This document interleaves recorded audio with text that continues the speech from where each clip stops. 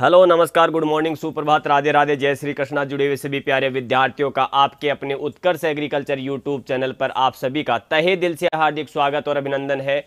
जुड़े विद्यार्थियों में पराग जी पलक जी गोविंद जी राजमेवाल जी विष्णु जी माहिका जी जयवीर कोरीवाल जी, सभी का हार्दिक स्वागत, सभी को गुड मॉर्निंग, सभी का तहे दिल से आभार है। और आज के सेशन को हम आगे बढ़ाएँगे, देखेंगे कुछ आज के विशेष क्वेश्चन जो वर्ष 2000 आपके 18 में असिस्टेंट एग्रीकल्चर ऑफिसर में पूछ लिए गए थे।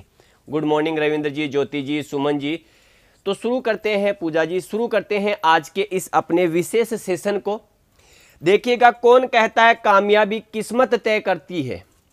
इरादों में दम हो तो मंजिलें भी झुका करती है। अगर आपके इरादे बुलंद है तो जो भी लक्ष्य आपने तय किया है, वो आप निश्चित रूप से प्राप्त कर लेंगे। रविंद्र जी, बिल्कुल आपने जो 10 क्वेश्चन सी यू के भेजे हैं, सभी के सभी बहुत आसान है। कोई विशेष कोई क्वेश्चन, यानी कि ऐसा नहीं है जिस पर हमने चर्चा नहीं की। हाँ अगर और क्वेश्चन है तो आप सेंड कर दीजिएगा, संडे स्पेशल क्लास में हम चर्चा कर लेंगे। तो ठीक है, शुरू करते हैं, आ जाइएगा आज के इस सेशन को आगे की तरफ़ बढ़ाते हैं आपके स्क्रीन पर ये रहा पहला क्वेश्चन। तो बताइएगा, निम्नलिखित में से कौन सी अखाद्य तेल की खली है अखाद्य तेल की खली है, आपको ये बताना है।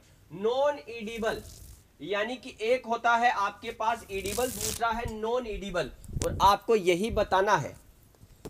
बिल्कुल बेटा पेपर ही ऐसा है जो आपने भेजा है। बहुत अच्छे से, मुझे पूर्ण रूप से विश्वास है कि लगभग जो 40 क्वेश्चन करने थे, वो पूरे के पूरे 40 क्वेश्चन सही कर सकते हैं। मनीष राज सर, आपके नंबर क्या है? बेटा, मैं एक्चुअली में मोबाइल नहीं रखता। समस्या ये है?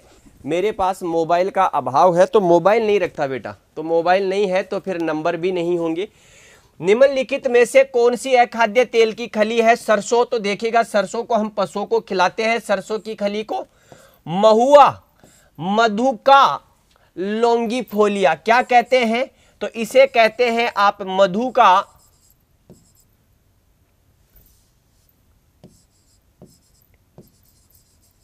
मधु का लोंगीफोलिया। क्या कहते हैं? मधु का लोंगीफोलिया, इसका बोटनिकल नाम है। यह नॉन इडिबल केक है और इसे जब इसकी महुआ की खली को अगर सोइल में हम काम में लेते हैं तो ध्यान रखना इसको बी फोर साठ दिन, यानी कि बिलो सिक्सटी डेज़ इसका क्या किया जाता है? सोइल में यूज़ किया जाता है। तो राइट आंसर क्या है? महुआ केक, यानी कि मधु का लोंगी लोंगीफोलिया बोटनिकल नाम क्या है? मधु का लोंगीफोलिया ये ध्यान रखना महुआ की खली बिल्कुल सही है। इस महुआ से ध्यान रखना, शराब भी बनाई जाती है। जो हमारे आदिवासी जो भाई है, वो इससे क्या बनाते हैं? आपके शराब भी बनाते हैं, ये ध्यान रखना है। तो चलें अगले क्वेश्चन पर। बिल्कुल सही है, पराग जी, आपका जवाब। अगला क्वेश्चन है आपके स्क्रीन पर। तो देखिएगा, गुच्छा रोग एक देहिक विकार है। Clustering disease is a physical disorder of grapes, mango, चीकू और केला। बताना है किसमें फ़िज़िकल डिसऑर्डर है, क्लस्टर डिज़ीज़। तो देखिएगा, अगर आप देखेंगे, आम में तो आम में आपको दिखेगा गुच्छा मुच्छा रोग। क्या होता है? गुच्छा मुच्छा बोलते हैं ना? भाई गुच्छा मुच्छा रोग बोलते हैं। अरे भाई, माल फॉर्मेशन सुना होगा ना आपने? माल फॉर्मेशन कितने टाइप की होती है? दो टाइप की होती है। एक कौन सी होती है? वानस्पतिक, और दूसरी होती है फ्लोरल। दूसरी कौन सी होती है? फ्लोरल यानी कि पुष्पीय। कौन सी होती है? पुष्पीय। तो देखिएगा, वानस्पतिक जो होती है, वो इसकी लीफ में नज़र आएगी, पत्तियाँ आपके एक जगह बंच बना लेगी। फ्लोरल में देखेंगे तो पुष्प जो होते हैं, इसके क्या है? एक जगह ही आपको नज़र आएँगे, ये ध्यान रखना है। तो यह स्थिति आपके किसमें देखने को मिलती है? मैंगो में देखने को मिलती है। अभी इसका ऑथेंटिक ऐसा कोई प्रमाण नहीं मिला कि काज क्या है। तो देखिएगा काज क्या है। इसका आपके फ़िज़िकल डिसऑर्डर है तो हम कह सकते हैं कि किसी विशेष प्रकार के न्यूट्रिशनल की कमी हो सकती है। न्यूट्रिशन की, क्योंकि यहाँ अगर देखेंगे तो लिखा क्या है? फ़िज़िकल डिसऑर्डर यानी कि विशेष प्रकार से अपन कह सकते हैं कि वेरियस टाइप्स इसके लिए जिम्मेदार है। एनवायरमेंट जिम्मेदार हो सकता है। कोई आपके फंगस इसके लिए जिम्मेदार हो सकती है। तो वेरियस टाइप्स इसके लिए जिम्मेदार है, ये ध्यान रखना है आपको। तो किसमें होती है? मैंगो में होती है। दो टाइप की होती है। एक वेजिटेटिव होती है और एक फ्लोरल होती है, ये ध्यान रखना है आपको। ठीक है? तो यहाँ राइट आंसर क्या है? बी है आपका आम। यहाँ देखोगे केले में बंची टॉप होती है, ये ध्यान रखना आपको, बंची टॉप। बिल्कुल सही है आपका जवाब, जो है आम। अगला क्वेश्चन देखो आपके स्क्रीन पर। निम्नलिखित में से पपीता की कौन सी किस्म गाइनोडायोसियस नहीं है? क्या है? गाइनोडायोसियस नहीं है, ये बताना है। यानी कि गाइनोडायोसियस नहीं है इट मीन्स डायोसिस वैरायटी है। बिल्कुल सर, सरपंच जी के पड़ोसी पनामाविल्टी बोलते हैं उसे। आपके केले में। तो यहाँ देखिएगा पूसा ड्वार्फ सूर्या पूसा मेजेस्टी और कुरगहनी ड्यू। तो देखिएगा पूसा ड्वार्फ के साथ में एक और याद रखना पूसा नन्ना। क्या होती है? पूसा नन्ना। एक और वैरायटी आती है पूसा गेंट। पूसा गेंट। कुछ और वैरायटी है, को one, CO two, CO four, को फाइव, को सिक्स। एक और वैरायटी आती है, रेड लेडी। कौन सी? Red lady. ये क्या है सारी की सारी? तो बेटा ये जो लिखी है, ये डायोसिस वैरायटी है, ये ध्यान रखना। क्या है? डायोसिस वैरायटी है तो सारी की सारी। Pusa dwarf, Pusa Nanha Pusa giant, CO one, CO two, CO four, को फाइव, को six. Red lady are a dioecious variety of papaya. यानी कि आपको ध्यान रखना है इसका सही जवाब क्या होगा आपका ए। यानी कि Surya, sunrise solo, Pusa majesty Coorg honey dew gynodioecious है और इनके लिए नर की आवश्यकता नहीं होती है। नर की आवश्यकता नहीं होगी, यानी कि विदाउट मेल के ही इनमें आपको फ्लोवर्स फ्रूटिंग होती हुई नज़र आएगी। चलें अगले पर। अगला क्वेश्चन देखिएगा आपके स्क्रीन पर। ललित कौन से फल फ़सल की किस्म है? ललित कौन से फल की किस्म है, ये बताना है। तो ललित का रंग कैसा होगा? तो देखिएगा, इसका रंग होता है, कई बार लिखा हुआ होगा गुलाबी रंग, और कई बार आपको लिखा हुआ मिल सकता है। लाल रंग का गुदा। लाल रंग का गुदा तो गुलाबी रंग का गुदा पल्प हो सकता है। लाल रंग का पल्प हो सकता है, ये ध्यान रखना है आपको। ये कहाँ से निकली है? तो ये central institute of sub tropical horticulture आपके लखनऊ से निकली है, ये ध्यान रखना। यहीं से एक और वैरायटी निकली है, बहुत प्यारी वैरायटी है, श्वेता। कौन सी है? श्वेता। देखिएगा, ये लाल गुदे से है तो एक और वैरायटी आप याद करिएगा एप्पल कलर कुछ याद आ रहा है एप्पल कलर से? यानी कि एप्पल जैसी वैरायटी है अमरूद की। एप्पल कलर देखिएगा, एक और वैरायटी आती है इसकी हफ्सी। एक और वैरायटी आती है बेहद कोकोनट बेहद कोकोनट तो ये सारी की सारी वैरायटी इस प्रकार की है, जो अल्टरनेट वैरायटी है। जो ज़्यादातर आपसे पूछा जा सकता है, ये ध्यान रखना है आपको। तो श्वेता, ललित, एप्पल कलर हफ्सी बेहद कोकोनट, इलाहाबाद सफ़ेदा, लखनऊ 49 जिसे आप सरदार कहते हैं। आपके हिसार सुर्क है, इलाहाबाद सुर्क है। आपके ये कुछ वैरायटी है जो आपको ध्यान रखनी है। ठीक है? हाँ सरदार बेटा इसी की है। तो ये आपके क्या है? अंगूर की वैरायटीज है, ये ध्यान रखना ग्रेप्स की वाइटिस विनीफेरा वाइटिस विनीफेरा बेटा, अर्का मर्दुला इसी की है। मर्दुला तो अनार की है, लेकिन अर्का मर्दुला इसकी है। अर्का किरण भी इसी की है। अर्का रश्मि भी बेटा इसी की है। अगर मर्दुला की बात करें तो देखिएगा सॉरी अपन ने यहाँ वाइटिस विनीफेरा कर दिया भाई, गलती से इसको सुधार लेना। ये रहा अमरूद। तो ये सारी क्या है? अमरूद की वैरायटी है, ये ध्यान रखना आपको। अमरूद की वैरायटी है, सारी की सारी आपके। सीडियम गवा जाओ ये रहा बेटा पराग जी, अर्का मर्दुला, अर्का किरण और रश्मि। सिर्फ़ मर्दुला बात करें तो आपके पोमोग्रेंट की होगी, ये ध्यान रखना है। खरीद सकते हैं, ले सकते हैं बेटा ऐप से इस समय। शायद आज या कल लास्ट डेट है तो आप खरीद सकते हैं। बिल्कुल माहिका जी, अमरूद की है। चलें आगे। बेटा बताया चित्तीदार भी इसी की है। Good morning Lavina ji good morning बेटा। अब देखिएगा यहाँ पर, अर्का कंचन के जनक है, यानी कि अर्का कंचन किससे विकसित हुई है? लोचन चतुर्वेदी जी प्लांटेशन क्रॉप्स जो हम है संडे विशेष क्लास में कर सकते हैं। बाकी तो बेटा समय नहीं मिल पाता है। क्योंकि ऑफलाइन जो है, क्लासेज ऑफलाइन भी शुरू है तो ऑफलाइन बैचेज भी चल रहे हैं। उसके बाद में जैसे यूट्यूब पर है, उसके बाद में और भी कई काम है। तो अपन क्या है संडे विशेष में प्लांटेशन क्रॉप्स देख सकते हैं। आपकी जो है, हमारे उसमें शेड्यूल में आपकी क्लास है बेटा। अर्का कंचन के जनक है। Anab e Shahi queen of vineyard black Champa और थॉमसन सीडलेस तो ये देखना है आपको।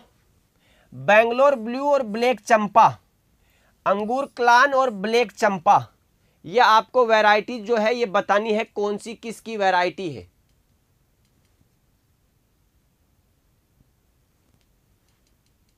तो देखिएगा, ब्लैक चंपा और थॉमसन सीडलेस, इसको कहते हैं अर्का नीलमणि। अर्का नीलमणि।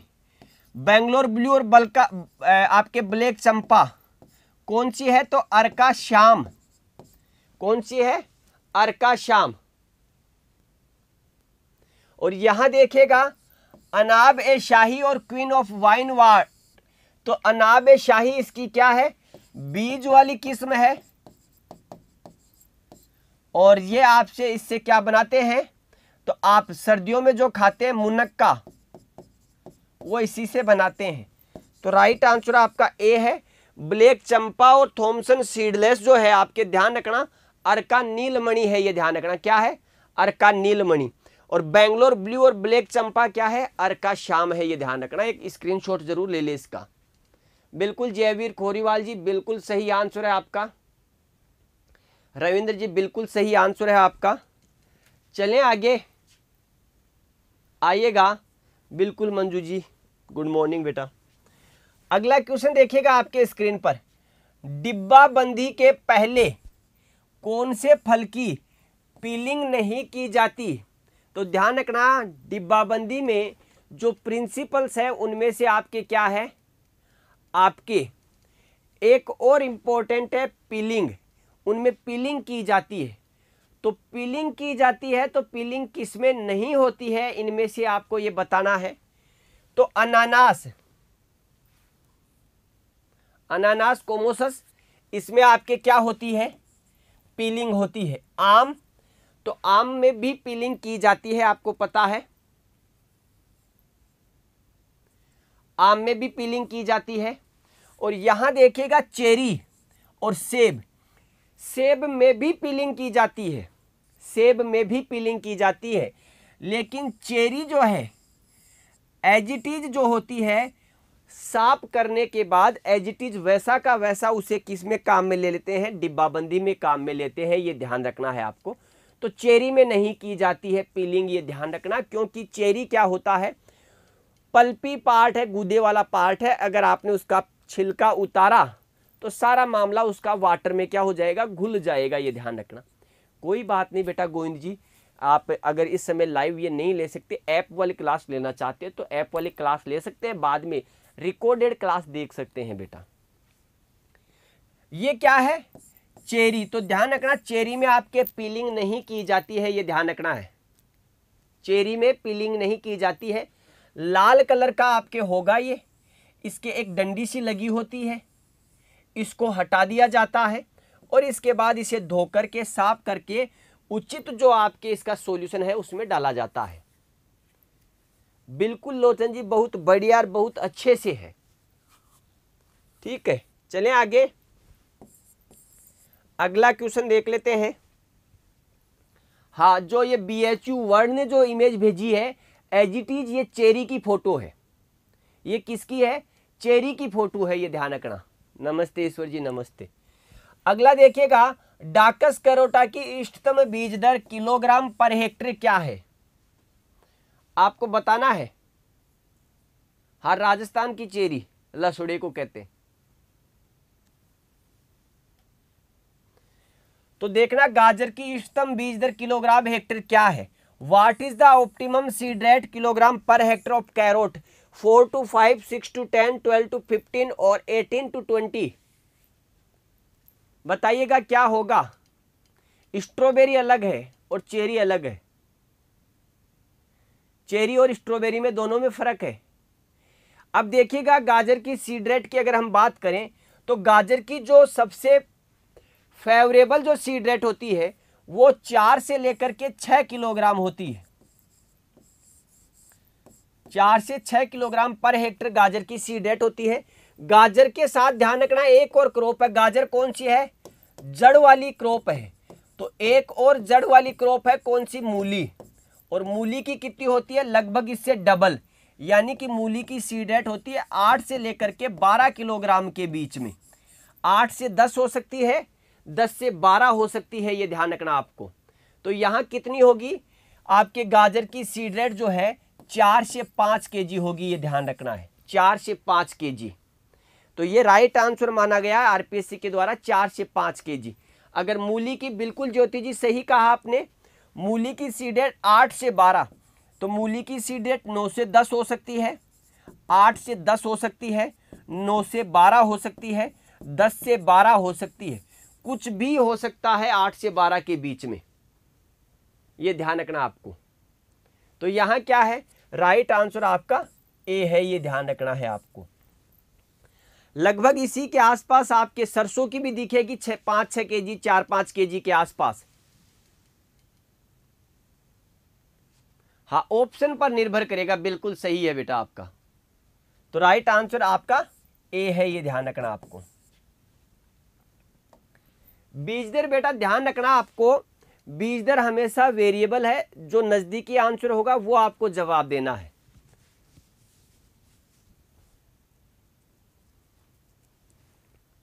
बिल्कुल मंजू जी, आपकी पाँच से सात के जी सी डेट भी ठीक है, लेकिन पाँच से सात यहाँ नहीं है तो चार से पाँच वाला कर देंगे अपन। नौ से दस मूली का ठीक है, आपका बिल्कुल सही है, आठ से दस है तो वो भी गलत नहीं है। वो निर्भर करेगा कि आपका ऑप्शन क्या है, ये ध्यान रखना आपको। अगला क्वेश्चन देखो। हाइब्रिड टी, गुलाब का व्यावसायिक प्रवर्धन निम्नलिखित में से किस विधि से किया जाता है? एक है आपके पास हाइब्रिड टी। इसमें चाय जैसी सुगंध आती है। एक होता है देसी गुलाब। देखिएगा, जो दृढ़ कास्ट कलम है, हार्डवुड कटिंग है, वो देसी गुलाब में काम में ली जाती है। किसमें देसी गुलाब में। फिर है टी बडिंग। ये बिल्कुल सही है आपका जवाब कि टी कलिकाइन का प्रयोग हाइब्रिड आपके टी में, जिसे कहते हैं, गुलाब में काम में ली जाती है। हाइब्रिड जो टी गुलाब है, उसमें काम में लेते हैं। एयर लेयरिंग एयर लेयरिंग अगर आप देखेंगे तो आपके लीची में काम में आती है, आपके अमरूद में काम में आती है, नींबू वर्गीय फ्रूट्स में काम में लेते हैं यह आपको ध्यान रखना है। हाँ बिल्कुल सही है, देसी गुलाब में हार्डवुड कटिंग। सकर्स देखिएगा, आपके केले में सकर्स काम में लिए जाते हैं। बिल्कुल, श्याम सुंदर जी, आपने जो बी जवाब दिया, बिल्कुल सही है। फिटनेस फ्रेंक बॉक्स जी, लीची आपका बहुत प्यारा जवाब है। चंदन भामू जी, राम कला जी, ज्योति जी, बिल्कुल सही जवाब है बेटा आपका। जो बी आंसर आ रहा है, वो बिल्कुल सही जवाब है। ठीक है। देखिएगा, ये क्लासेज आपके लिए कितनी इंपॉर्टेंट है। अगर ये क्लासेज आप लगातार देखते हैं या इनके आप साथ साथ में कोई नोट्स बना लेते हैं तो किसी भी प्रकार की एग्ज़ाम जो आपके विशेष रूप से किसमें है, आपके एग्रीकल्चर की होती है, उसमें अगर आप एक बार क्या कर लेंगे रिवाइज कर लेंगे तो निश्चित रूप से आपके बहुत सारे क्वेश्चंस आपको यहाँ से मिल जाएँगे तो एग्ज़ाम में आपको बहुत ज़्यादा समस्या नहीं होगी। अमरूद में ले लेते हैं बेटा एयर लेयरिंग काम में लेते हैं अमरूद में। इनार्चिंग इसका कमर्शियल प्रोपोगेशन है अमरूद का। कमर्शियल प्रोपोगेशन है। हाँ लीची में काम में ले लेते हैं। ठीक है, आपके देखिएगा, ये पेपर आपके देखेंगे तो क्या है एग्रीकल्चर का आपके 360 एग्रीकल्चर का 360 एनालिसिस है। सारे सब्जेक्ट इसमें आ जाते हैं। एग्रीकल्चर में आपके होर्टी एग्रो एनिमल हस्बेंड्री आपके इकोनॉमिक्स स्टेटिक्स प्लांट ब्रीडिंग आपके एक्सटेंशन सारे सब्जेक्ट यहाँ आ जाते हैं। तो ये सारे के सारे क्वेश्चंस आपके क्या हैं? बहुत इम्पोर्टेंट है और जिन्होंने सी यू ई टी का एग्ज़ाम दिया होगा, उन्हें निश्चित रूप से पता होगा। क्या आपके क्वेश्चंस आपके यहाँ से मिले हैं? ये ध्यान रखना आपको। ठीक है तो आपके टी बडिंग अगला क्वेश्चन देख लो। गुलाबी सड़न रोग किस फ़सल में पाया जाता है? गुलाबी सड़न और गुलाबी सड़न का इंग्लिश वर्ड देखो आप। Purple blotch. तो ध्यान रखना, पर्पल ब्लोच। ये आपको ध्यान रखना है। आईसीआर में बी जो आपके October first week in which crop is a disease purple blotch is found गुलाबी सड़न रोग किसमें पाया जाता है? तो देखिएगा, ये फंगस के द्वारा होता है। और अल्टरनेरिया पोराई। अल्टरनेरिया पोराई। इसके द्वारा होता है ये ध्यान रखना। टमाटर में होता है, मटर में होता है फूल गोभी में या प्याज में। तो ध्यान रखिएगा मेरे प्यारे, यह आपके पर्पल ब्लोंच जो डिज़ीज़ है, ये किसमें होती है? ये आपके ओनियन में होती है, ये ध्यान रखना। किसमें? प्याज में होती है। अभी बताएँगे बेटा जेट काउंसलिंग की बात कर लेते हैं। ये प्याज में होता है। अब ये प्याज में देखेगा सीधी आपको इस प्रकार से नज़र आ सकता है। ये आपके राउंड शेप में भी नज़र आ सकता है। यानी कि प्याज की पत्तियों में जगह जगह आपको क्या दिखेंगे? स्पोर्ट्स बन जाते हैं, इसमें ये ध्यान रखना है। और अगर ज़्यादा रूप होगा तो प्याज की पत्तियाँ क्या हो जाएँगी? नीचे की तरफ़ गिर जाएगी। जलेबी रोग आपके क्या इसके राउंड शेप में आपको नज़र आएगा तो इसलिए बोल सकते हैं इसे। अंकित माहौर जी, बेटा एग्रीकल्चर सुपरवाइजर का आप कोर्स परचेज कर सकते हैं। लाइव जो रिकॉर्डिंग कोर्स है, वो परचेज करना, उसमें लाइव आपको क्या मिलेगी? क्लासेज मिलेंगी। हाँ प्याज में बिल्कुल मेरे प्यारे, आपका बोल्टिंग होता है। बिल्कुल होता है बोल्टिंग ये ध्यान रखना है। देखिएगा बेटा आपके जो जेट के काउंसलिंग के बारे में बार बार जो क्वेश्चन आ रहे हैं, उसकी बात कर लें। जेट काउंसलिंग जो है मे बी आपके इस महीने में हो जानी चाहिए। मे बी इस महीने में आपके जेट की काउंसलिंग स्टार्ट हो जानी चाहिए, क्योंकि जैसे जैसे देरी हो रही है, आपके ये सेशन भी फिर आगे आने वाले समय में आगे की तरफ़ बढ़ेंगे। इसके पीछे कारण है कि अभी तक जेट की काउंसलिंग क्यों नहीं हो पा रही? पहले तो आपके सीबीएसई का रिज़ल्ट था अब नहीं होने के पीछे कारण है कि जो अभी नई जो एग्रीकल्चर की कॉलेजेज खुली हैं, उन नई एग्रीकल्चर कॉलेजेज के कुछ इश्यूज़ हैं, कहाँ उन्हें रन करवाया जाएगा, क्या उनकी आपके जो है बिल्डिंग्स की व्यवस्था होगी, उनके द्वारा कुछ अमाउंट संबंधित यूनिवर्सिटी में जमा करवाया जाता है। फिर सबसे बड़ी समस्या जो अब 29 कॉलेज जो खुली हैं, उन 29 कॉलेजेज को आपके कॉलेज एजुकेशन में दे दिया गया। तो एग्रीकल्चर यूनिवर्सिटीज का वहाँ से प्रॉपरली कोऑर्डिनेशन नहीं हो रहा। तो ये समस्या आपकी है। पहले क्या हुआ करता था कि जितनी भी कॉलेजेस थी, किससे, किसके साथ कोऑर्डिनेट थी? आपके यूनिवर्सिटी के साथ। लेकिन इस बार क्या हुआ, इन्होंने एग्रीकल्चर यूनिवर्सिटीज़ के साथ उनका कोऑर्डिनेशन हटा करके एग्रीकल्चर को कॉलेज एजुकेशन के साथ दे दिया। ये ध्यान रखना है आपको। ठीक है? तो चलें आगे। अगला देखो, रूबी किस फ़सल की किस्म है?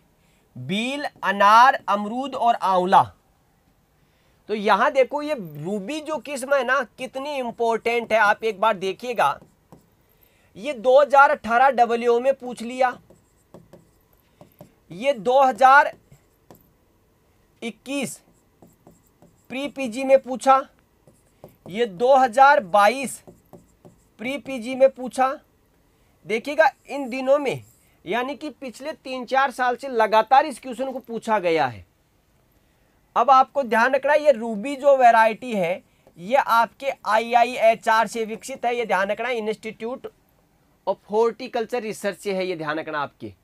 वहाँ पूसा रूबी है बेटा, जो टमाटर में है ना, टमाटर में पूसा रूबी है। तो किसकी है? ये अनार की वैरायटी है, ये ध्यान रखना आपके, Ruby. I I H R तो यही क्वेश्चन पूछा जा चुका है दो तीन बार। तो इंपॉर्टेंट क्वेश्चन है, ये ध्यान रखना आपको। रूबी किसकी है? आपके? तो अनार की है। ये पूछा जा चुका है। अगले क्वेश्चन पर चर्चा कर लेते हैं। देखिएगा यहाँ, गुलाब की कौन सी स्पेसीज में एसेंशियल ऑयल की मात्रा अधिक होती है। रोजा मल्टीफ्लोरा, रोजा बोरबियाना, रोजा डोमेंसियाना रोजा चाइनेंसिस।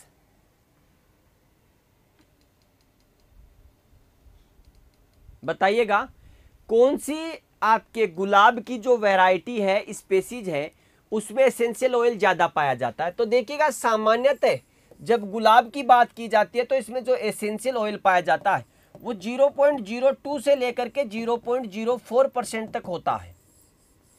लेकिन आपके अगर देखेंगे रोजा डोमेंसियाना, जिसे आप दमस्क गुलाब कहते हैं, जिसे आप चेती गुलाब कहते हैं, यह अपनी एसेंशियल ऑयल और विशेष सुगंध के लिए जाना जाता है और ये आपको ध्यान रखना है कितना होता है।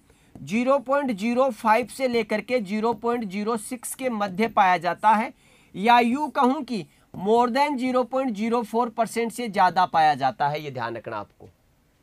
इस चीज़ का ध्यान रखना आपको। ठीक है? तो ये है आपकी रोजा डोमेंसियाना। सी इसका राइट आंसर है। राजस्थान में इसकी खेती खमनोर है, राज संबंध में होती है, हल्दी घाटी में होती है, ये ध्यान रखना। तो राजस्थान में कहाँ होती है इसकी खेती? विशेष रूप से राजस्थान में। तो देखिएगा, खमनोर और एक होता है हल्दी घाटी। किसमें हल्दी घाटी। और दोनों को मिलाएँ तो हम कह सकते हैं कि इसकी खेती आपके राजस्थान के राज संबंध ज़िले में होती है, ये ध्यान रखना। राजस्थान के राज संबंध ज़िले में होती है। बेटा, डेयरी प्रोडक्ट्स भी करवाएँगे। अगला क्वेश्चन देखो। पूसा मुक्ता कौन सी फ़सल की किस्म है? पूसा मुक्ता। तो मुक्ता है, इसका नाम, इसका मतलब किसी ना किसी चीज़ से तो मुक्त है। और मुक्त कौन सी है? तो मुक्त है ये किससे? आपके काला सड़न रोग से। किससे? काला सड़न रोग से मुक्त है, ये ध्यान रखना है आपको। काला सड़न रोग से। Xanthomonas campestris. किसके द्वारा होता है? जेंथोमोनास कंपेसिट्रस इसके द्वारा होता है, ये ध्यान रखना है। अगर देखें तो इस काला सड़न को आपके लिखा हुआ मिलेगा ब्लैक रोट। ये ध्यान रखना। तो वैरायटी किसकी है? पूसे पूसा मुक्ता तो पैसे पत्ता गोभी की वैरायटी है। पत्ता गोभी की वैरायटी अगर देखेंगे तो प्राइड ऑफ़ इंडिया है। कोपेनहेगन। कोपेनहेगन मार्केट है। पूसा अर्ली है। इसी की। ये आपको ध्यान रखना है। तो पत्ता गोभी की है, ये ध्यान रखना है आपको। पूसा मुक्ता। तो पूसा मुक्ता किसकी है? आपके? पूसा ड्रम हेड भी इसी की है। Pusa drum head, late drum head. ये क्या है आपके? इसी की वैरायटी है, ये ध्यान रखना आपको। तो ये है पत्ता गोभी, ये ध्यान रखना आपका। बी इसका राइट आंसर है। कैबेज हाँ गोल्डन एकड़। बिल्कुल बेटा गोल्डन एकड़। इसी की है गोल्डन एकड़।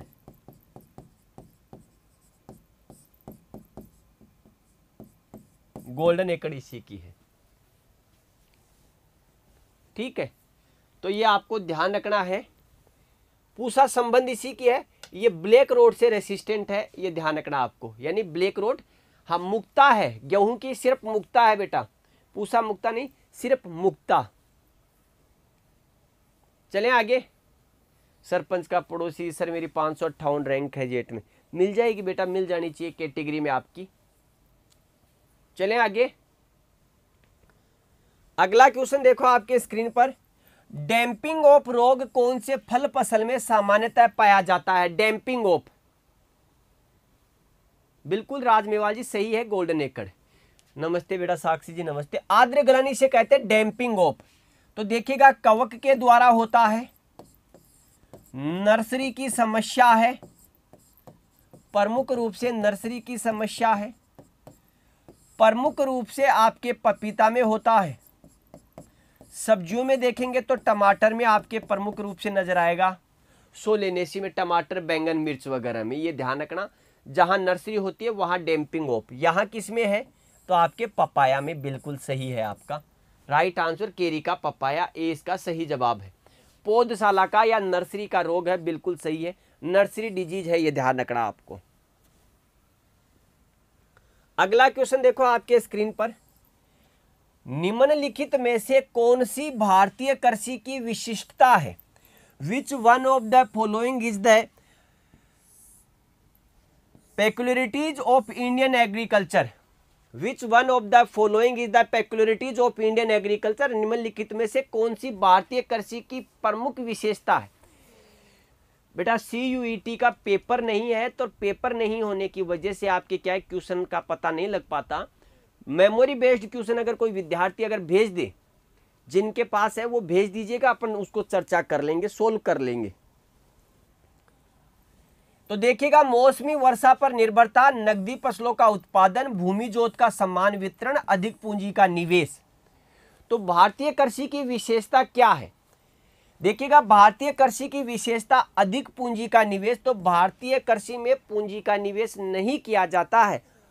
हम चाहते हैं कि दस रुपये खर्च करके सौ रुपये का प्रोडक्शन ले लिया जाए। यानी कि कम से कम पैसा खर्च करना चाहते हैं, ज़्यादा से ज़्यादा उत्पादन लेना चाहते हैं। ये ध्यान रखना, भारत में ऐसा नहीं होता, ये यूरोपियन कंट्रीज़ में होता। है भूमि जोत का सम्मान वितरण तो हमारे यहाँ लैंड होल्डिंग में बहुत ज़्यादा वेरिएबिलिटी है। अगर आप देखेंगे तो टोटल एग्रीकल्चर में अगर देखें तो आपके मार्जिनल और आपके स्मॉल जो लैंडिंग होल्ड है, अगर उसमें देखेंगे तो आपके लगभग मोर देन 60 परसेंट किसानों के पास लघु और सीमांत जोते हैं, ये ध्यान रखना है आपको। तो यहाँ ये भी हमारे यहाँ विशेषता नहीं। नकदी क्रॉप हम कम बोते हैं। हम क्या हैं? तो भारतीय कृषि की प्रमुख विशेषता मौसमी कृषि पर निर्भर और भारतीय कृषि को मानसून का जुआ कहा जाता है। क्या कहते हैं भारतीय कृषि को? मानसून का जुआ कहते हैं, ये ध्यान रखना। तो एग्ज़ाम ने जो एग्जामिनर था, उसने क्या किया? आपके डायरेक्टली क्वेश्चन नहीं पूछा कि मानसून का जुआ, बल्कि पूछ लिया क्या कौन सी भारतीय कृषि की विशिष्टता है? तो ये वाली भारतीय कृषि की विशिष्टता नहीं है, बल्कि ये किसकी है? तो ये है यूरोपियन एग्रीकल्चर की। ये सारी की सारी विशेषताएँ आपको यूरोपियन एग्रीकल्चर में देखने को मिलेगी, ये ध्यान रखना है आपको। अगला क्वेश्चन देखो, बहुत प्यारा क्वेश्चन है। भारत में इकोनॉमिक सर्वे 2017-18 के अनुसार, वर्ष 2016-17 में भारत में खाद्यान्नों के उत्पादन का स्तर क्या था? तो बेटा पुराना है, नहीं पूछेगा एग्ज़ाम में। राइट आंसर दो मिलियन टन है। आइएगा 21 और 22 के। अगर आज का अखबार खोल करके देखेंगे, अगर आज का अखबार अगर आप खोल करके देखेंगे तो लिखा हुआ है कि भारत सरकार ने खाद्यान्न उत्पादन का अपना चौथा एस्टीमेट जारी किया और चौथा एस्टीमेट ही फाइनल एस्टीमेट में कन्वर्ट होगा और कितना उत्पादन है? तो 315.7 मिलियन टन इसको करोड़ में लिखा हुआ है, वहाँ पर इकतीस पॉइंट सत्तावन करोड़ लिखा हुआ है, ये ध्यान रखना। अगर आप 20 और 21 की बात करेंगे मेरे प्यारे तो देखिएगा 20 और 21 में 300 310 point 310 point seven four million ton है। अगर आप उन्नीस और 20 की बात करेंगे, अगर आप उन्नीस और 20 की बात करेंगे तो यहाँ पर 297.5 मैट्रिक टन आपके गेहूँ, इसका खाद्यान्न का उत्पादन है, ये ध्यान रखना है। तो ये आज के अखबार की खबर है कौन सी? ये वाली। 2021 और 22 का भारत सरकार ने चौथा अग्रिम अनुमान जारी किया। दूसरे अग्रिम अनुमान में 316 के आसपास था तो कुछ घटा है। चौथा अग्रिम अनुमान लगभग मान के चलिएगा कि यही उत्पादन आपका फाइनल आंकड़ा होगा, ये ध्यान रखना। आज के अखबार में कृषि से जुड़ी हुई दो मुख्य खबरें हैं, जिनमें से एक हमने चर्चा कर ली है। एक और है कि केसीसी के ऊपर अब तीन लाख रुपए तक अगर कोई लोन लेता है तो उसके साल में डेढ़ परसेंट की छूट और होगी उसमें। तो ये करंट में हम देखेंगे, ये ध्यान रखना आपको। इक्कीस बाईस तीन सौ पंद्रह पॉइंट सात मैट्रिक टन, बीस इक्कीस में तीन सौ दस point seven four metric ton और उन्नीस बीस में दो सौ सत्तानवे पॉइंट मैट्रिक टन और सत्रह, सोलह और सत्रह में हमारा राइट आंसर यहाँ डी है। ये तीनों आप लिख लेना भाई आप। इन तीनों को लिख लेना एक बार।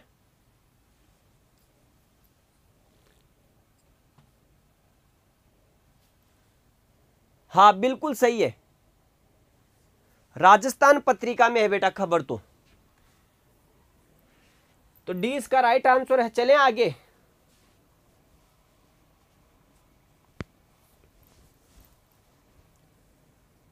अगला देखो, यहाँ पर।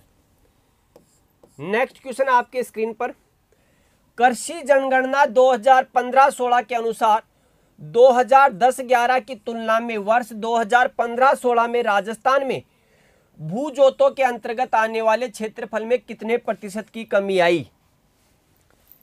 तो देखिएगा, मेरे प्यारे, ये कृषि जनगणना अब हमारे यहाँ स्टार्ट हो चुकी है 2022 में। अगस्त में शुरू होगी, ये ध्यान रखना। अखबार से लगातार टच में रहना, ये ध्यान रखना। अखबार से लगातार टच में रहना। अगर इसमें कुछ भी आपके नई अपडेट होती रही तो उनको नोट करते रहना और निश्चित रूप से हम भी आपके साथ इसमें मिले रहेंगे और आपको अपडेट करते रहेंगे करंट के क्लासेज में। अब देखिएगा, ये कृषि जनगणना जो है, ये प्रत्येक पाँच वर्ष में होती है, ये ध्यान रखना। प्रत्येक पाँच वर्ष में होती है इस चीज़ का ध्यान रखना। पिछली करंट क्लास में मैंने आपको कंप्लीट करवा दिया था कि एग्रीकल्चर सेंसस क्या होता है, पहली बार कब हुई क्या है एग्रीकल्चर सेंसेस तो देखिएगा आपके, जो लैंडिंग जो आपके क्या है? लैंड होल्डिंग जो है, ये कितनी गठी राजस्थान में? तो 1.24 इसका मतलब आप समझ रहे हैं? इसका मतलब यानी कि जोतों का जो आकार था, वो गठा, यानी कि जनसंख्या बढ़ने से भूमि के टुकड़ी हुई ये आपको ध्यान रखना। अगर आप इनको जोड़ेंगे marginal small semi medium medium और लार्ज अगर इन चारों को, इन पाँचों को अगर जोड़ेंगे, किसको? अगर आप जोड़ेंगे सीमांत, ये होल्डिंग तो यही तो होती है, जोत, सीमांत, लघु अर्ध मध्यम अर्ध मध्यम मध्यम और दीर्घ। अगर इन होल्डिंग्स को अगर आप ऐड करेंगे, किसमें? 2010-11 की और 2015-16 की। तो राजस्थान में एक पॉइंट चौबीस परसेंट की कमी आई है, ये ध्यान रखना। एक पॉइंट चौबीस परसेंट की कमी आई है। इनको आप ऐड कर लेना और फिर परसेंटेज में कन्वर्ट कर लेना, आपके पता लग जाएगा 2010 11 और 15 16 अब हमें क्या ध्यान रखना है? तो आपको मैं बता देता हूँ, आप याद रखिएगा 2015-16 की एग्रीकल्चर सेंसस और अब आपको याद रखनी है 2021-22 की सेंसस जो अभी गणना होनी है। अगर ये दोनों याद हो गई तो आपका मामला सेट है ये ध्यान रखना आपको। तो 1.24 परसेंट डिक्रीज है राजस्थान की आपके लैंड होल्डिंग। अगला देखो। विपणन ऋतु यानी कि वर्ष अठारह उन्नीस के लिए गेहूँ का न्यूनतम समर्थन मूल्य निर्धारित किया गया था। यह आपको बताना है। तो यहाँ ध्यान रखना है, अगर एमएसपी की बात करें तो एमएसपी आपको ध्यान रखना है, फ़सल की बुआई से पूर्व घोषित होती है। तो क्या होती है? एमएसपी फ़सल की बुआई से पूर्व, बुआई से पूर्व घोषित होती है। साल में दो बार। एक खरीफ से पहले और एक रबी से पहले। अब गेहूँ की पूछिए रबी तो ध्यान रखना, अब रबी आएगा तो उसकी घोषणा होगी, लेकिन पीछे जो गेहूँ की रबी जा चुकी, उसमें उन्नीस रुपए है, ये ध्यान रखना आपको। ठीक है तो यहाँ लगभग 1745 के आसपास है, जो इसका राइट आंसर है। ये ध्यान रखना तो यहाँ आपको ध्यान नहीं रखना है कि इसका क्या राइट आंसर होगा, नहीं पूछे जाएगा। करंट पूछेगा आपसे, ये ध्यान रखना आपको। करंट पूछेगा। ठीक है? अगला क्वेश्चन देखो। वर्ष 2011 की जनगणना के अनुसार भारतीय कृषि में महिलाओं का योगदान बताने के संबंध में निम्नलिखित में से कौन सा तथ्य सही है? बताइएगा 2011 की जनगणना के अनुसार भारतीय कृषि में महिलाओं के योगदान को आइडेंटिफिकेशन करने के लिए कौन सा कथन या तथ्य सही है, इनमें से आपको ये बताना है। मेरा सवाल आपसे यह है कि एग्रीकल्चर में महिलाओं की भागीदारी को देखते हुए कृषक महिला भागीदारी दिवस कब मनाया जाता है, बताइएगा। कृषक महिला भागीदारी दिवस कब सेलिब्रेट किया जाता है? यह आपको जवाब देना है। तो देखिएगा, कुल महिला मुख्य कामगारों में 80 प्रतिशत तो 80 प्रतिशत महिलाएँ कृषि पर निर्भर नहीं है, क्योंकि टोटल अगर आप देखेंगे तो टोटल ही हमारे चौवन पॉइंट छप्पन परसेंट के आसपास हम किस पर हैं? पाँच दिसंबर को मेरे प्यारे सोइल डे सेलिब्रेट किया जाता है, इंटरनेशनल सोइल डे। तीन दिसंबर को नहीं बेटा, चार दिसंबर को। ये ध्यान रखना क्या? चार दिसंबर को। अभी हाल ही में पंद्रह अगस्त की क्लास को देख लेना आप एक बार। 12.8 प्रतिशत कार्यकारी जोते, ऑपरेशनल जो लैंड है, ऑपरेशनल होल्डिंग है, उसमें महिलाओं का मालिकाना हक है। बिल्कुल सही है कृषि शिक्षा दिवस तीन दिसंबर को। तो ये ध्यान रखना 12.8 प्रतिशत कार्यकारी जोते ऐसी हैं जो महिलाओं के आधिपत्य में है, ये ध्यान रखना है आपको। तो 12.8 percent of the operational holding were ओवर्न by women जैसे इसका मतलब हम ये कह सकते हैं कि साढ़े बारह परसेंट लघु, सीमांत, अर्ध, मध्यम मध्यम और दीर्घ जो जोत हैं उनमें 12.8 परसेंट की हिस्सेदारी महिलाओं की है, ये ध्यान रखना। महिलाओं के नाम है, ये ध्यान रखना आपको। तो यहाँ क्या है? बी इसका आपका राइट आंसर है। बाकी बड़ी जोतों का केवल 20 परसेंट तो बड़ी जोतों में महिलाओं की कोई विशेष भूमिका नहीं है। सीमांत और लघु जोतों की श्रेणी में 50 परसेंट से अधिक कार्यकारी जोते महिलाओं की तो ये नहीं है। बी इसका सही है। एक चीज़ ध्यान रखना, ऐसे क्वेश्चन जो है हम आपके करंट की जो आगे क्लासेज होंगी, उनमें हम चर्चा करेंगे। अगला क्वेश्चन देखो आपके, ये भी थोड़ा सा छोटा है, लेकिन इसको अपन बढ़ा लेते हैं। इंग्लिश वाले को नीचे दे रहे हैं, ये ध्यान रखना आपको।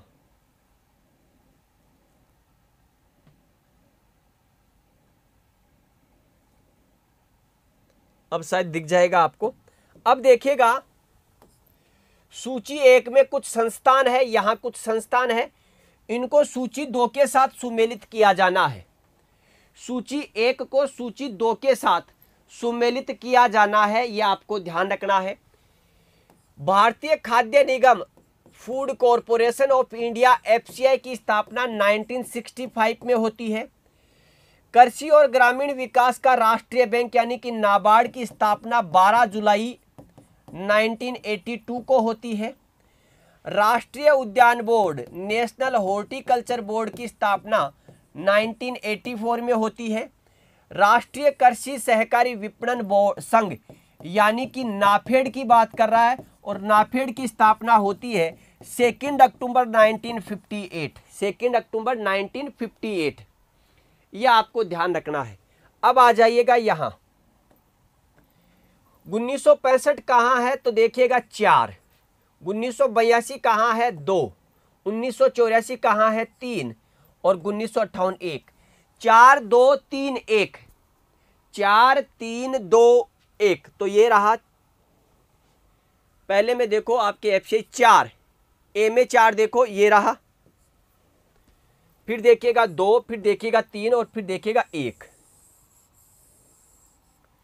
बीस का राइट आंसर है भाई, ये ध्यान रखना मेरे प्यारे। बीस का राइट आंसर है, ये ध्यान रखना आपको। बीस का राइट आंसर है। ठीक है?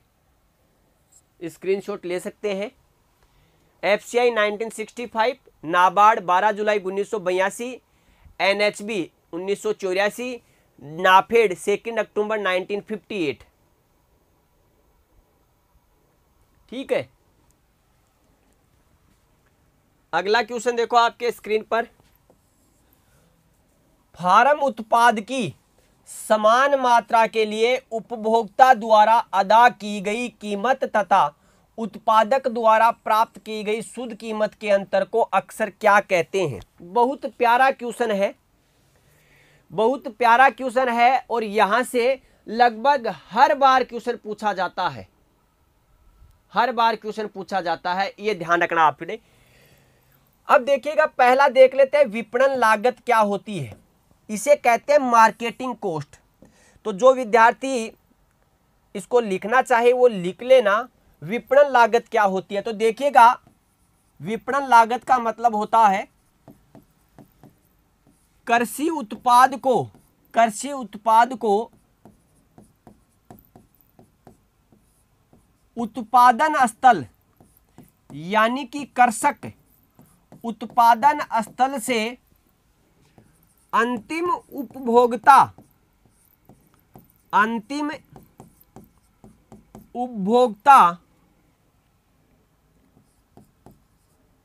तक विपणन लागत है यह ध्यान रखना, कृषि उत्पाद को उत्पादन स्थल से अंतिम उपभोक्ता तक पहुँचाने में पहुँचाने में कृषक यानी कि किसान विपणन संस्था विपणन संस्था तथा मध्यस्थों द्वारा मध्यस्थों द्वारा वहन की गई राशि, वहन की गई राशि क्या कहलाती है? मार्केटिंग कोस्ट कहलाती है। तो मार्केटिंग कोस्ट का मतलब क्या होता है? सुन लीजिएगा। मार्केटिंग कोस्ट का मतलब होता है, जैसे ये पैन है। इस पैन को पेन नहीं समझना है इसको गेहूँ समझना है। ये गेहूँ है, मैं एक किसान हूँ। ये मेरे यहाँ पैदा हो रहा है और ये एक अंतिम उपभोक्ता है। तो इस गेहूँ को यहाँ तक पहुँचने में किसान के द्वारा विभिन्न विपणन संस्थाओं के द्वारा, विभिन्न मध्यस्थों के द्वारा जितना पैसा खर्च किया जाता है, उसे कहा जाता है मार्केटिंग कोस्ट कहा जाता है, ये ध्यान रखना है। क्या है? Marketing cost. तो मार्केटिंग कोस्ट क्या है? उत्पाद का कर्षक के, कर्षक से लेकर अंतिम उपभोक्ता तक पहुँचने के मध्य में जो भी राशि खर्च हो रही है, चाहे वो कर्षक करे, चाहे वो कोई विपणन संस्था करे और चाहे वो क्या करें, आपकी कोई मध्यस्थ करें, ये ध्यान रखना है आपको। ठीक है? अगला देखो, अगला क्या है? विपणन दक्षता क्या होती है? इसे कहते हैं मार्केटिंग एफिशिएंसी। तो इसका मतलब क्या होगा? आपको यह ध्यान रखना है तो लिखिएगा, कृषि उत्पाद का, कृषि उत्पाद का नहीं, कृषि उत्पाद को, कृषि उत्पाद को कर्षक से अंतिम उपभोक्ता। बहुत माइनर डिफरेंस है। अंतिम उपभोक्ता तक, अंतिम उपभोक्ता तक कम से कम कम से कम विपणन लागत में, कम से कम विपणन लागत में पहुंचाना। क्या कहलाएगा? विपणन दक्षता। यानी कि कम से कम पैसों में आपके पहुंचाना, वो कहलाती है विपणन दक्षता। और यहाँ देखिएगा मेरे प्यारे, कीमत विस्तार क्या है? तो देखिएगा, कीमत विस्तार का मतलब होता है कि आपके, जिसे कहे प्राइस स्प्रीड देखिएगा, कोई कृषि उत्पाद है, कोई कृषि उत्पाद है, अब कोई कृषि उत्पाद का जो पैसा अगर दे रहा है किसान को तो वास्तव में किसान को कितना मिलता है? यही बात है, यहाँ पर क्या लिखा है कि फार्म उत्पाद, यानी कि कृषि उत्पाद की समान मात्रा के लिए उपभोक्ता द्वारा अदा गई कीमत और उत्पादक द्वारा प्राप्त की गई शुद्ध कीमत के बीच का अंतर। इसे आप समझना, इसे आप समझना किस चीज़ को? कीमत विस्तार को यहाँ पर। यहाँ समझिएगा, कीमत विस्तार क्या होती है?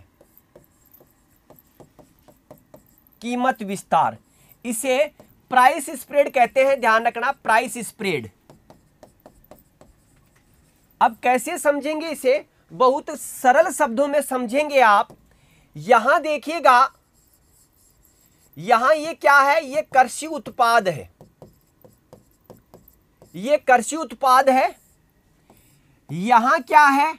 तो यहाँ देखिएगा, आपको जिसे कहें तो ये कौन है?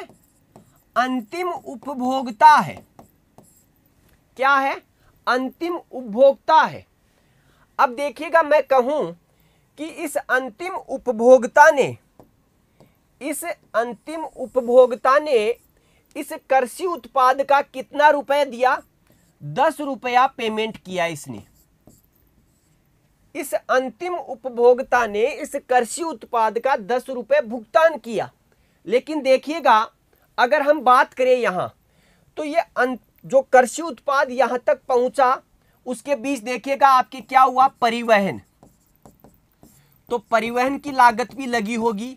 मैं कहूँ कि परिवहन की लागत दो रुपए लगी थी। देखिएगा यहाँ क्या था, यहाँ पर आड़तिया था। इस आड़ती ने क्या किया, एक रुपये यहाँ ले लिया। यहाँ देखिएगा थोक विक्रेता है। इस थोक विक्रेता ने भी कुछ पैसा कमाया होगा, दो रुपए इसने कमा लिया। यहाँ पर फिर खुदरा विक्रेता है। इस खुदरा विक्रेता ने भी आपके कुछ पैसा कमाया होगा, जैसे मैं कहूँ, दो रुपया कमा लिया। समझिएगा, दो रुपए कमा लिया। अब देखिएगा यहाँ पर, दो और दो चार, एक पाँच और दो सात। देखिएगा, इस दस में से सात रुपए निकालेंगे तो बच गया तीन रुपए। अब मुझे ये बताइएगा, ये कृषि उत्पाद यानी कि कृषक को कितना रुपए मिला? कृषक को मेरे प्यारे तीन रुपए मिला।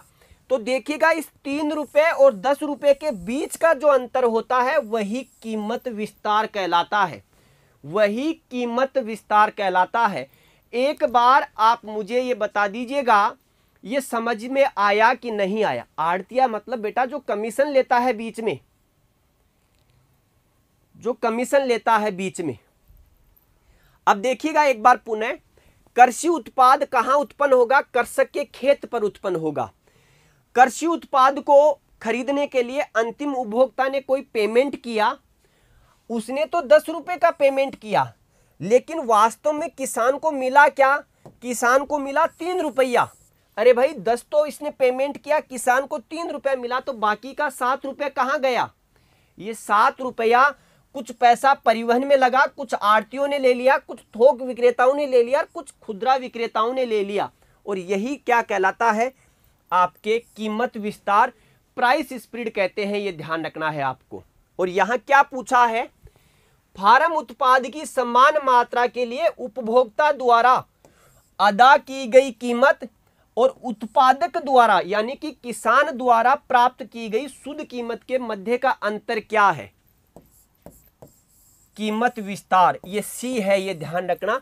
विपणन माध्यम, मार्केटिंग चैनल, यानी कि किसी भी उत्पाद को बेचने के मार्केटिंग चैनल क्या है? ये ध्यान रखना है, ये तीन जो स्टेटमेंट है आपके पास, विपणन लागत, विपणन दक्षता और कीमत विस्तार। अगर आपको विश्वास नहीं होता है तो आपके प्री पीएचडी से लेकर के pre PG double A O A O ICR की कोई सी भी एग्ज़ाम उठा करके देख लेना, इन तीन में से एक स्टेटमेंट हमेशा पेपर में होता है। अगला क्वेश्चन देखिएगा। कृषि को अप्रत्यक्ष वित्त पोषण का संबंध निम्नलिखित में से किससे संबंधित है? बताइएगा।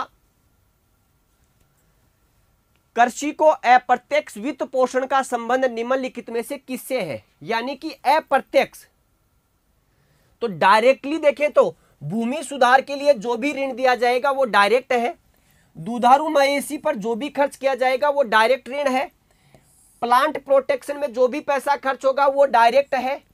लेकिन, यहाँ देखिएगा कृषक सेवा समितियों को उपलब्ध करवाए गए ऋण से तो जो फार्मर सर्विस सोसाइटीज हैं, उनको जो ऋण उपलब्ध होता है या वो जो ऋण उपलब्ध करवाती है वो अप्रत्यक्ष वित्त पोषण है। अप्रत्यक्ष वित्त पोषण है इनडायरेक्टली है ये ध्यान रखना आपको। बाकी भूमि के सुधार के लिए डायरेक्ट है, दुधारू के लिए और पादप। यानी कि ये तीनों के तीनों सीधे नज़र आ जाते हैं, ये ध्यान रखना। डी इसका राइट आंसर होगा। तो देखिएगा, the indirect financial to agriculture are associated with which of the following loans given for land reclamation loans given for mills cattle loans given for plant protection measures और financing the farmer service societies D इसका answer है। अगला question देखो, नाबार्ड का मुख्यालय कहाँ स्थित है या नाबार्ड का कार्यालय कहाँ स्थित है? तो देखिएगा नाबार्ड। अगर आप नाबार्ड की बात करते हैं तो देखिएगा national bank for agriculture rural development NABARD 1979 1979 में एक कमेटी बनती है। कमेटी का नाम है शिव रमन कमेटी।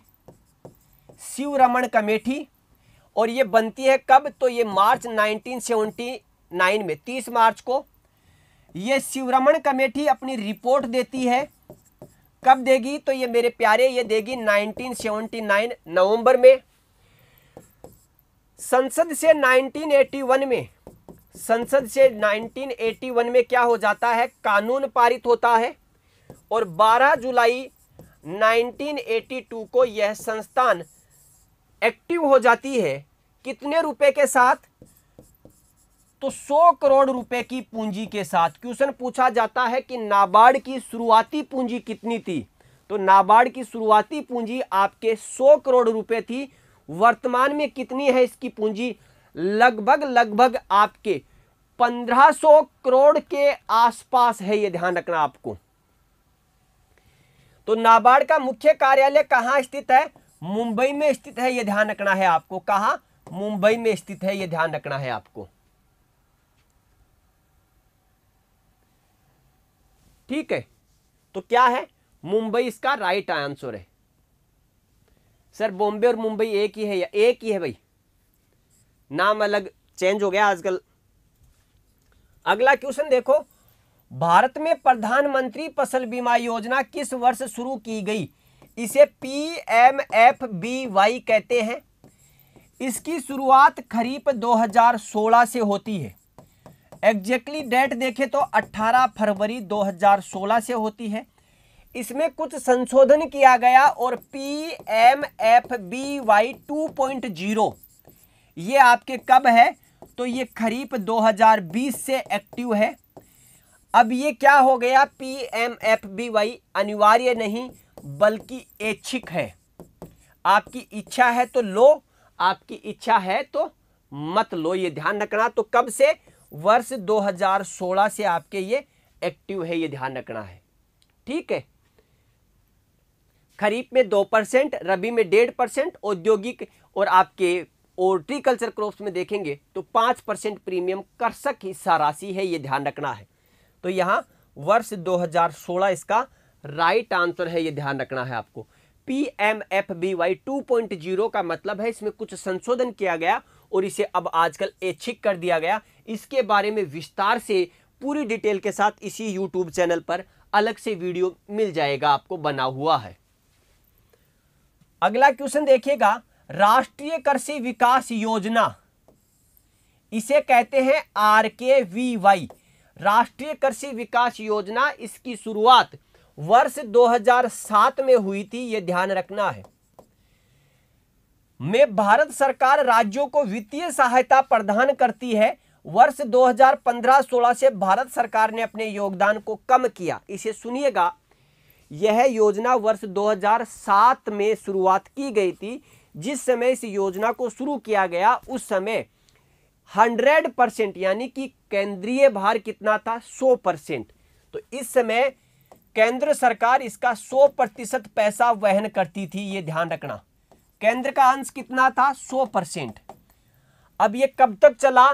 तो देखिएगा, वर्ष 2014-15 तक। केंद्र का अंश इसमें 100 परसेंट हुआ करता था। लेकिन वर्ष 2015-16 से क्या किया केंद्र सरकार ने? इसमें से केंद्र सरकार ने अपनी हिस्सेदारी घटा दी। कितनी घटाई? 100 परसेंट से घटा करके इसे कर दिया गया 60 यानी कि केंद्र का हिस्सा इसमें वर्तमान में 60 है, संबंधित राज्य का हिस्सा इसमें 40 परसेंट है। तो आज इसमें कितना है? 60 40 का रेशियो है, ये ध्यान रखना है आपको। 100 प्रतिशत से घटाकर 60 परसेंट कर दिया गया। तो ध्यान रखना, राज्यों में इसकी स्थिति कैसी है? 60 अनुपात 40 ये ध्यान रखना। अगर आप देखेंगे, पूर्वोत्तर राज्य तो देखिएगा, पूर्वोत्तर राज्य और पहाड़ी राज्यों की अगर बात करें तो यहाँ हिस्सा है नब्बे अनुपात दस। और अगर केंद्र शासित देखेंगे, केंद्र शासित देखेंगे तो केंद्र शासित में 100 परसेंट हिस्सेदारी किसकी है? केंद्र की है यह ध्यान रखना, क्योंकि केंद्र शासित प्रदेशों में एक प्रकार से शासन किसका है? केंद्र का ही है यह ध्यान रखना आपको। तो यहाँ क्या है? राइट आंसर आपका बी हो जाएगा यह ध्यान रखना। तो आर के वी वाई में आज वर्तमान में केंद्र का हिस्सा साठ परसेंट है, राज्य का हिस्सा चालीस परसेंट है। पूर्वोत्तर राज्यों में इसका नब्बे अनुपात दस, यानी कि केंद्र नब्बे पैसा, राज्य का दस पैसा। केंद्र शासित प्रदेशों में पूरा का पूरा केंद्र सरकार वहन करती है, ये ध्यान रखना। तो चले आगे। अगला क्वेश्चन है आपके स्क्रीन पर, ये रहा। तीन जून 2011 को श्रीमती सोनिया गांधी द्वारा राष्ट्रीय ग्रामीण आजीविका मिशन की स्थापना राजस्थान के कौन से ज़िले में की गई थी? तो देखिएगा, वर्ष 2011 की बात है। इस समय केंद्र में जो सरकार है, वो किसकी है? तो ध्यान रखना आपके, जिसको कह सकते हैं, यूपीए सरकार है इस समय केंद्र में। तो यूपीए सरकार की जो पार्टी अध्यक्ष है सोनिया गांधी, वो राजस्थान में विज़िट करती है। और राजस्थान का कौन सा? तो राजस्थान का बांसवाड़ा जिला। और राजस्थान के बांसवाड़ा ज़िले से आपके national rural livelihood livelihood mission इसकी स्थापना आपके शुरू होती है और कहाँ से? बांसवाड़ा से शुरू होती है, ये ध्यान रखना आपको। ठीक है? ये आपके। तो यहाँ क्या है? इसका डी जो है वो राइट आंसर है। तो देखिएगा क्लास कैसी लगी? क्लास के बारे में अपने विचार ज़रूर साझा करें और ध्यान रखिएगा, प्रत्येक शनिवार और रविवार, प्रत्येक शनिवार और प्रत्येक रविवार, प्रातः दस बजे एग्रीकल्चर करंट की क्लास होती है। तो इस क्लास के लिए ज़्यादा से ज़्यादा विद्यार्थियों को इस यूट्यूब चैनल को ज़्यादा से ज़्यादा अपने साथियों को शेयर करें और बताएँ कि उत्कर्ष भी आपके लिए लेकर के आया है एग्रीकल्चर का उत्कृष्ट पैमाना। आने वाले समय में एग्रीकल्चर फ़ील्ड ऑफिसर के भी बैच चलने वाले हैं और कृषि पर्यवेक्षक की तैयारी करने चाहता है अगर कोई विद्यार्थी ऑफलाइन तो उत्कर्ष में उसके लिए बैच शुरू हो चुके हैं। तो अपना एडमिशन लेकर के अपना स्थान निश्चित कर सकते हैं। तो मिलेंगे अगली क्लास में, तब तक के लिए आप सभी विद्यार्थियों को नमस्कार। जय हिंद, जय भारत, बेस्ट ऑफ़ लक।